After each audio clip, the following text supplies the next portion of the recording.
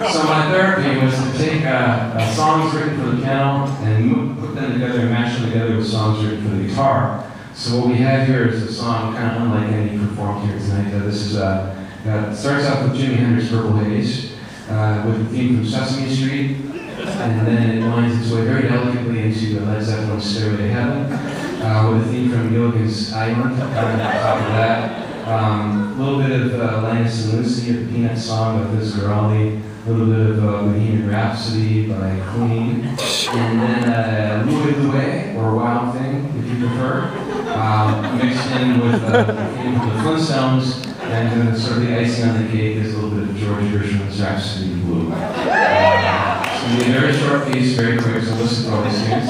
And uh, I like to call this Linus and Lucy in the Sky with Fred and Barney and Mary Ann and the Skipper 2. The first grade class uh, in elementary school nearby had me named Purple Muppets. In honor this evening, I'll be with Lavender Muppets. So.